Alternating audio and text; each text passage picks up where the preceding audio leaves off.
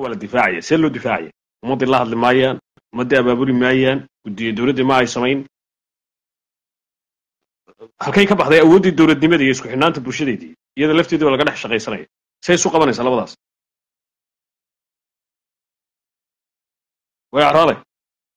way maxamedo ku soco horta faraska waxaa dhegidda loogu garaaca waa orodkaa ka badiyo innaga iyo dad badan fara badan muwaadiniinoo bariya galbeedba jooga somaliland waxay xoogaa aad moodaa inay kaalintii dowladdu lahayd inay ismuujiso ayaana arkahayn ha way jirtaa dee laakiin dowladdu way garanaysa waajibaadkeeda difaaca qarankuna waa kelmad horta kelmad waxa weeye wax badan yani sharaxaysa. Waxay taasi ku caddaynaysaa in dalku uu galay marxalad state of emergency dagaal ah. Taas waa hubaal weeye. Dee dagaal baa gelaya ciidana matalaado dee luqadaha diplomacyga ayaa adduunka kaa maaha. Jibuuti saasi leg tabarteedii u weyneed ay samaysay waxay ahayd inay keentay laba jabhadood iyadoo dowlad sheeganaysa intaas horta noqotay maaye mid ka soo orday bahashii texas maraykanka ka soo cararo iska retira iyo mid kale oo dee iska jabhad yaroo weliba argagixisa oo tisaama ninka wax mooday horta tabartiisa intaas meeqaamkoodii baa hoos u yaalaba marka isa dowlad jirtay rubuc qar maxaan ku rahay nus qarni jirtay taas horta ku cadaynaysa oo tabar de hadday leeyihiin dacan fartaaba kuma soo weerarto maxaabis ka kaxaysta maalin walba? Iska dhaaf eritreyo marka horta taasaa ku cadaynaysa inaanay maxuu jirin inaguna aynu sidii state ahaan sidii dowlad ahaan yani uu yahay xarakaadkeedu iyaguna sidii iskade jes amba dee dowlad waxa u dhow aanay ahayn. Taas horta ku cadaynaysa taana de waxa waxa ku sababtay somaliland una ictiraaf haysan somaliland una ictiraaf haysan ayaa dhaqaalaheeda iyo nolosheeda iyo ciidankeeda iyo wejiga ay ku leedahay adduunka uu yahay mid dowladeed iyadana waxaad moodaa de waxaan ahayn jes waxaa ka hadlaya jibuuti waa jes moodaa reer yaroo amba de jabhadda amba de iska dowlad aan jirin taas horta ku cadeys degdegu iyadoo aanu jirinba wixii qabsanaynaa oo somaliland ahaan dadku waa diyaar maanta haddii xabada ka dhacdo lawicado ilaa soo gaarso waqooyiga hargeysa. Dee cidi war ma haysaso yani waxaan ka hadlaya dalku waa dal ballaaran. Waa dal yani muxuu ahaaye dib markii ay meel ka dhacdo oo aanay ciidana geesta kale aan waxa warhayn. Waxaa ku cadeynaya dagaalkii ka dhacayay. Soo baray. Burc wax waxay ka ogeyn. Iska dhaaf hargeyso. Ladeeloon hargeysa. Burcana ayaan ayaa waxba ka ogeyn. Oo dadku waa kuwii iska ciidaya halkaa muxuahaye yani iyagooda waa kuwii dhigbaxayay marka eg dowlad marka tahay sal ballaaran oo awood leh oo fadhigeeda iyo kursigeedu yahay luga adaga uu ku taagan yahay. Taasaa caddeys ta caalamka uu kala macaamilaya somaliland waa kaa weeye oo waxaa dhiga jirta geeska africa jabuuti iyo wixii ciddii kale ka soo horjeedaa u malayn maayo bisha inta ka hadhay inay inay sii wada karaan dagaalka. Waayo dhiigbax buu ku yahay iyaga ethoopiana u malayn maayo in baamusharkeedu uu sii socon doono jabuuti already way u hanjabeen way la hadleen way ogyihiin jabuuti way ogtahay maanta marka intaa in ka badan ay samayn kartaa ma jirto ilaamaha inay inay xabad qarxin doonto hadday qarxisana de waa suusaari weeye waa qof isagu isqarxiyo inahaas baan ku soo urur lahaa laakiin dhinaca xukuumadda waxna aan kugu waxna waa wax xukuumaddu og tahay oo arrimo sirdoon iyo arrimahaasi waa waa waddada iyo qaabka dowladnimada marka laga hadlayo difaaca qaranka. Laakiin marka laysu bandhayray baartu shacabka soo gaadho xukuumaddu inay yidhaahdaan keliya qaranka waa in la difaaca. Shalayna aynu ogeyn iyagoo sidaa u soo taagan oo hotel xamdi xukuumaddii fadhido la soo laayey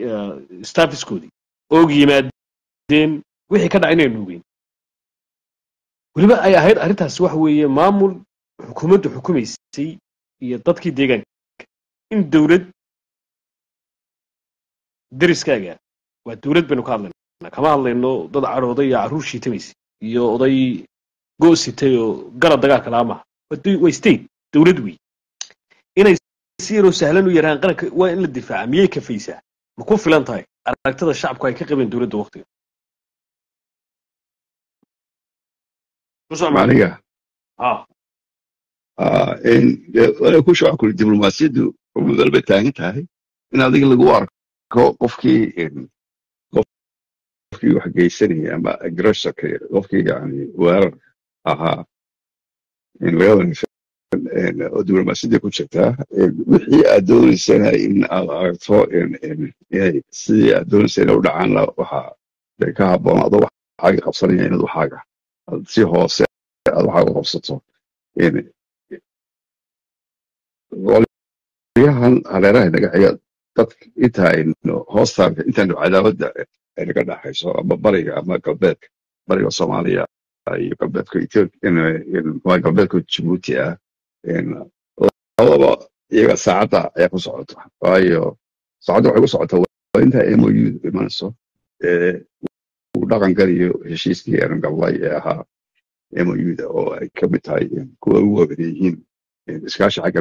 militariga iyo iskaashi xagga amniga ah oo aan ethiopia laga leh iyaga horta waktiga ku taagan jibuuti iyo soomaaliya innaga dowladdu inay soo hadasho horku diblomaasiyadda ayay ku wanaagsantay dee maadaama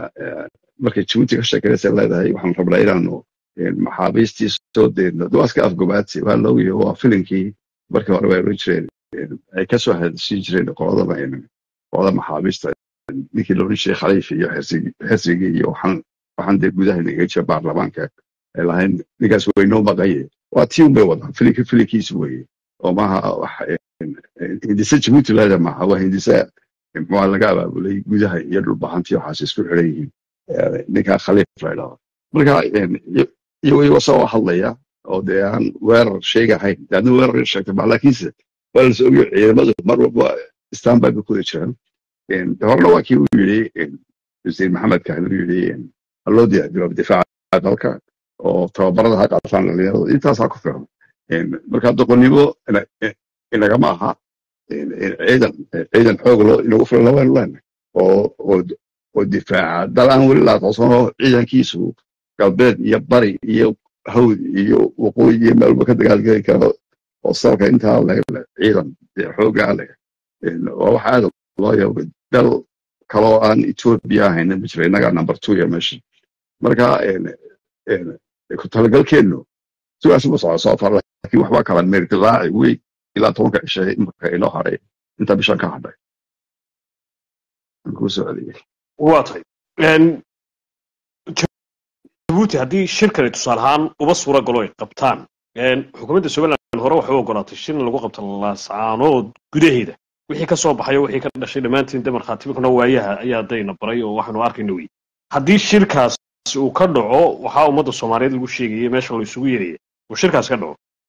Saameyn inta leg bu somaliland gudaheeda ku yeelan kara oo kuwo ka mid a xitaa ay ka qayb galaan. Sidaynu dee caadada ahayd aynu ogey shirkaasi wuxuu laajixi karaa oo uu noqon karaa shir guulaystay. Waxaa ka horreeya yani fikirkeyga hindisahayga. Xasan sheekh waa kii uu marayay bahashii asmara eritrea. Doorkan waxaa ka mid ahaa in isku soo dhoweeya jibuuti iyo eritrea oo maxaabiista ay hayaan ay soo daayaan qolada eritreyiintu guulaysigeedu aad uu janskiisu u hooseeya waynu maqal lahayn marka haddii wax lagu heshiiyana ilaa marka dee ma hayno wararka adduunka ay soo qorayaan mxuahay idaacadaha adduunka iyo iyo jaraadada adduunka dib soo qori lahayn. Oo ku faana lahayn marka ka wada qoladan xasan gurguute iyo jibuuti in heshiis laga gaadha eritrea ciidankeedii wuxuu joogaa dumera waxaa la geliyey muxuu high alert. Waxaa la geliyey marka muxuu ahaye standby bay ku jiraan. Oo digtoonaan aad u heer sareysa ayaa la geliyey xagga ethiopia unbaana ciidan la keenay welka xagga eritrea laakiin way kacsan yihiin marka goladii cafartiina ku soo dhustaan baa dhici karta. Heshiiska uu wado ninka xasan sheekh haddii uu suuro galo waxaa laga yaabaa in jabuuti ay il u baxdo. Waayo culayskii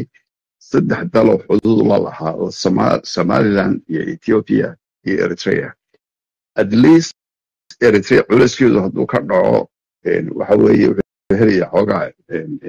oxygen uu neefsado. Waayo culays badan bay saddexda ku hayaan. Intii waxaad moodaa in aanay isku sanbanaaneen jamanaha qaarkood colaad baaba ka taagan somaliland colaad baa ka taagan eritrea colaad baa ka taagan. Marka haddii uu breaka helo break hadduu ka helo xagga eritrea waxaa laga yaabaa in xoogaa neefsado shirkaas uu soo galo. Marka wixii uu ku sii socday maalmaha ee kharbudaadii islahaa cabsi gelay kharbudaad kala maayan wax kama samayn kare hadduu xitaa toban kun ciidana soo geliyo waxba wax waxay qaban kartaa ma jirto. Waayo meel lagu dagaalan maaha ay tahay ahaye bacad muxuu ahaye iyo wixii ku soo siman ilaa garyaad iyo ilaa ceelgaal iyo ilaa geerisa iyo ilaa buuraha awdal ku teedsan dhul lagu dagaalami kara maaha. Marka inuu xooga nafisaa laga yaabaa intaa yare eritrea marka ay suuro gasho inuu khalkhalkii waday uu sii waday islaam ku cabsi geli waxa kale marka cusleeyay qolada somaliland dib dib ha noqoto waxan say ila tahay weliba aan jeclahay aqoonta aanu lahay jabuuti in odaygu aanu wax badan ba ogeynba oo ay ku shaqaystaan qodir kale ka hooseeya ninkan waa iska tabcaan iska dawo ku nool ku shaqeeya marka intii daba odhan labadii sano u dambeeyey qolo laakiin maafiya oo dee iyagu dunuub gashaa jirta oo isla meesha nidaamka ku sii ku sii shaqaysta yaa oo badan niman uu adeero u yahay iyo kaloo oo ay gaan kalo iyaguna ka mid ah qolyaha meesha haysta oo isla meel kaloo ay tagaan aanay jirin intaasaan ku soo urur lahaa waa tahay falanqeeye maxamed aad iyo aad buu u mahadsan yahay su'aasha ugu dambaysa ku weydiinaya waxa weeye inkiiso haddii shirkaasi dhaco oo sida isagu doonayo alliniskaa soomaalida oo dhan ka wada imanaya oo tusaale ahaan odaygu dee isqarxiyaba oo geelle si uu waxa weeye arrintaasi ugu yaraan saamayntiisa u muujiyo diiditaankiisa iyo rabitaanka ah in wax soomaali la yidhahdaba baddeeda u difaacaya isagoo ay ugu hoos jirto jabuuti baan markaa badbaadadeedu somaliland iyo saaxiibadeeda diblomaasiyadda se uga fil celin karaan bay kula tahay maxaase ka dhalan doona haddii arrintaasa u dhacdo labada dhinacba haddii ay jabuuti tallaabo qaado maya absolutely jabuuti haddii tallaabo qaado dowladahan saldhiga ku leh oo ay de intooda badan ay yihiin kara yihiin laakiin aan difaac difaac ma laha. Ay difaacayaan ma laha heshiis jabuuti iyo dowladahaasi difaac u dhexeeya oo militariya haddii la soo weeraro jabuuti laakiin dalka qole ay wada leeyihiin waa faransiiska faransiiskana cilaaqoodkooda ma wacna adu mana xuma mana wacna yani meel yacyocoodu taagan yahay. Arrinka somaliland faransiisku aad buu ugu dharagsan yahay. De ilaa berigii loo yacdo mar niman jabuuti ka socda ilaayeen eslamta waqtii eslamtu weerartay waana ku caanantay beriga faransiiska oo yidhi maxaa badda geliya waayo de iyaga agressora iyaga muti duulaanka lahaa tanna waa tiyo kalon somalilandna ta ay rabta ay doonaysa waa taa inay adduunka tusto in ay nimanka leedo jabuuti ay xuduudda ka soo tallaabeen taasaa marka ku noqonaysa adiga caddayn in aad dagaal gasho oo aad weerarto oo wax iska celiso marka inay xuduudda ka soo tallaabaan baa la eegayaa xataa ilaa intan mou gaarina xataa hadday noqotay mous inaan xataa la seexin la kamin week two weeks. jabuuti inta iska ilaalinaysa waa waa kharabadaad ba isleedahay dadka gudaha ku jira ku kaciyey labada reer ee degan awdo ciise iyo gadaboose ciisuhu male male male culays caynkaas kumala gobolka gobolka awdal khaasatan seren ay joogaan laakiin wax saas laakiin awdal bay isleeyin kiciya awdalla meesha qole isleeyin ka kiciya maaha meel kale waa meesha boorma la yidhaha weye intan kale waa dhul iska reebaadiya iska tuulooyin yar weye wax macnoo badan male meesha waa laga kicin karaa awdal reerka gadabuursina waxa weeye waa awdal meesha la dhaha boorma weye boormana se khalbada ku dhacdo marka adu waxa la rabaa in mistega sameeyaan somaliland status waxa weeye inay jabuuti ay mistake samayso ay soo tallowdo ay khalbadaad bilowdo iyadoo laakiin isqaranaysa wax isla adeegaya kursiga kuwa hoos dhuuma haddii ay timaado wada caalamku u arkaya caalamku ogyahin taasina waxay siinaysaa marka waxay siinaysaa ogolaashaha inay somaliland ay wax iska celiso xuduudda oo la xidaa iyada iyada u dalmaha iyaga jabuuti ba sheegaya taasina janiska halis buu gelinaya. Waayo dhaqdhaqaaqa ay samaysaa jabuuti waxay banaynaysaa laba meelood. Waxay banaynaysaa dhinacii eritrea iyo dhinacii u dhawaay muxuu ahaye ciidamadii fruit oo already uu dalka gudihiisa ku jira geesta waqooyi bay degan yihiin ciidamo fara badan bay leeyihiin. Waqti aan fogeyn waa ku berenaysa xitaa qaar ka aftuubtay fruit armey marka way joogaan dalka gudihiisa. Oo geesta waqooyi bay degan yihiin buuraleyda ah awoodda way ku leeyihiin ciidana uma tagto maxaabiista qabsadaan dalka gudihiisa ku haystaan ciidana uma tagto marka dhaqdhaqaaq ay jabuuti samaysaa waxay la tahay in ay noqon soo dhaqdhaqaaq ay ku simbarooxoodaan hadday jabuuti simbarooxootada maaha niman kala hari kara maaha dal kala hari kara maaha ama xukuumad kala hari karta maaha hadday simbarooxoodaan waa ilaa taxadkay tegeen waa laba meelood bay banaynayaan qayb waxay banaynayaan frontka ee fruit armeyga waxay kaloo banaynayaan geesta kale eritrea. Oo ilaa markaa inaan waxba ka maqal wax isku soo dhawaasho ninkii xasan baryahan waday ciis cisho dambeeyey marka inaga waxayna siinaysaa muxuu ahaye green lightka aynu wax iska celin karno aynu aynu muxuu xukuumadda muse laftiisu waa janisgad oo siyaasiyan ha siyaasiyan dee dee adduunkana u tusaya waayo adduunka tusaya waxaana ku jirta imika inagu ilaalan baynaan waa kan de ku afgobaadsanaya ninkan laydhao firdhiye maxaan wadaa ahaye nidaam ah in in maxaabiis waxaynkaas ilaa iigadii wax tusaya iigad maxaa ka galay firdhiya maxay ka yaqaana egeen ilaa xitaa baashi loo dhishay dekadii jubutay ka yir maxaa s s iyo dhulbaanta iyo dekad maxaas kaga in dhulbaantiyo dekad iyo dhulbaantiyo kalluun maxaasu ka helay way weliba isfaarayo waxaa looyaa runti marka waa eeg khalkhalka ay ay ay baada jibuuti weeyaan eeg taasoo ku caddeyn samiicitaamka hataa dowlad ahaan dowlad yani tan ictisaan bay keentay oka caalamku ogaya danooda okay awal xuutiyiinta ayuu la shaqeynayay marka ictisaan buu la shaqeynaya ictisaan iyo xuutiyiinta waa la shaqeynaya shabaab iyo waxaas waa actors of evil weeye wax isku wada xiran mooti marka horta jabuuti iyada horta isqaawisa caalamka wuu arkaya caalamku waa daawanaya waxa weeye basaasiinta joogta jabuuti ee safaaradaha ajnabiga jooga marka way dirayaan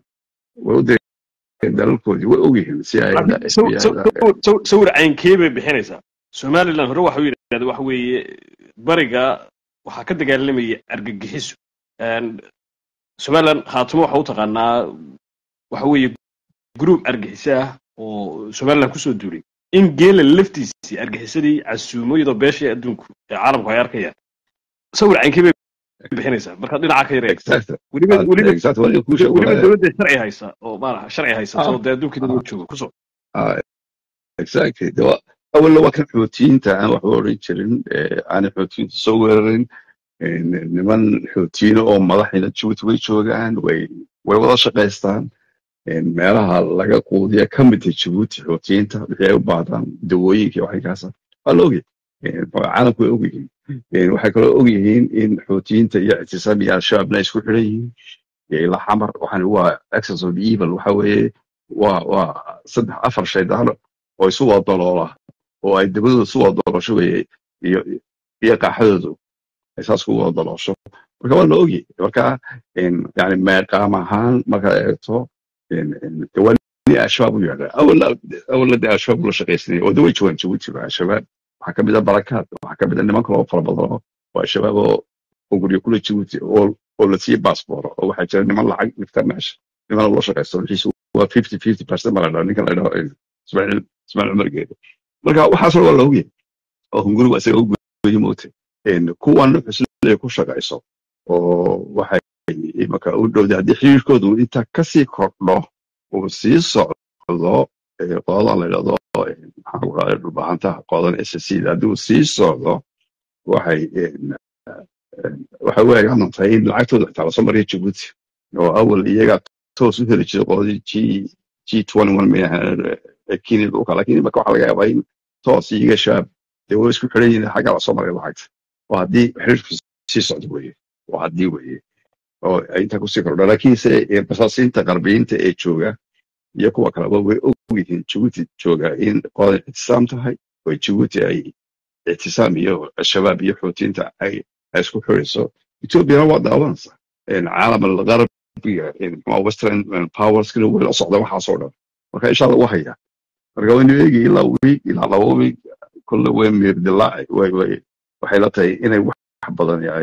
ay soo ishbaxi doonaan sida xaqiiqada ethiopia iyadu dibmaha joog waxeedu waa la arkaa in treenkaas iyo xiriirka hawadee u dhexeeya ethiopia iyo djibouti inay waxyeelo soo gaadhaan dhici karta oo ay noqoto in ethiopia tallaabooyin ay qaado hor leh. Eritrea siduu u saameyn karaa marka tusaale ahaan adiga yidhi waxyaabahan aad ka sheekeynayso waayo dee wadamadii reer galbeedka intii ugu badnayd baa jabuuti degan